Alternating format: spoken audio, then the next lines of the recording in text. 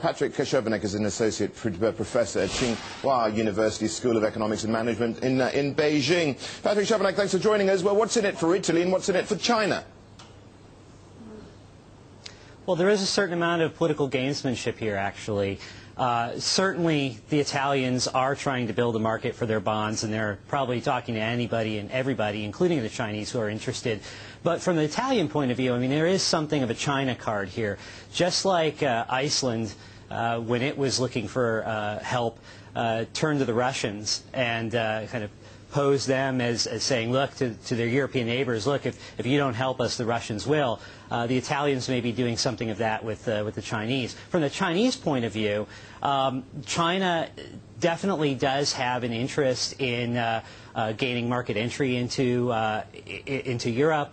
Uh, it, it, wants a couple things from Europe. It wants Europe to remove the arms embargo. It wants market economy status. And if it can do something to, to win favor with Europe. I mean, particularly since China is sitting on uh, massive for foreign exchange reserves, euros as well as dollars, it needs somewhere to put them. Why not claim credit for something that you're going to have to do anyway? Should the Europeans actually accept and welcome Chinese help in all this?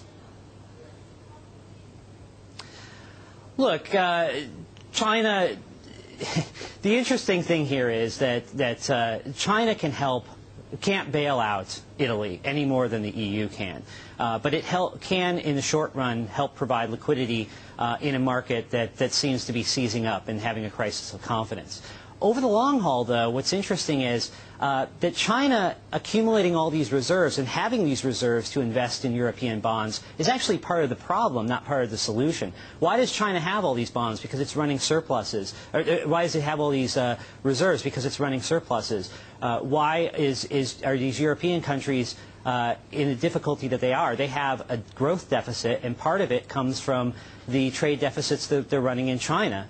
Uh, so, so really, um, if China wants to help Europe, uh, the solution isn't to accumulate these reserves by running surpluses and then loan the proceeds back to Europe to keep it on life support. The solution really is to buy European goods, invest in Europe, help create growth in Europe. Well, you know, that's the irony here, isn't it? Uh, we could see, actually, uh, one of the reasons why Europeans need a bailout, I'm not saying it's the chief reason, is because of what you just mentioned here. So, how does it play out? It's certainly a contributing factor. I mean, fundamentally, uh, the Europeans, well, look, the Europeans right now are focused on the short-term issue of uh, can they refinance their bonds, and any help from, from any direction is probably welcome. But really, in the long term, uh, it's this rebalancing of the global economy, creating, turning China from uh, something that's driven by the rest of the world into a growth driver for the rest of the world. That's a significant transformation, and it's something that the Americans have been talking about, uh, and the Europeans, uh, once they get over the hump here, really need to start talking about as well. Well, that, that is just it. How do they get over the hump? Uh, is this just a case of them buying time? Part of it is, yes, the Europeans buying time. Uh, but really, uh, this, what I'm talking about, this, this transformation in terms of a rebalancing of the global economy, uh, this is really a dramatic transformation for China, and it's, it's part of you know, the report that preceded uh, me uh, talked about uh, the investment boom that China has been using to drive growth. Uh, this is not a sustainable growth model. Uh, the Europeans really haven't been talking about that much. They've been focused on sort of uh, trying to get a get a piece of of China of, of the assets that China or the the resources that China has to uh, uh, to pass around. But really, in the long run, they need to start talking about how to turn China into a driver for for economic growth, and that's not going to be an easy transition.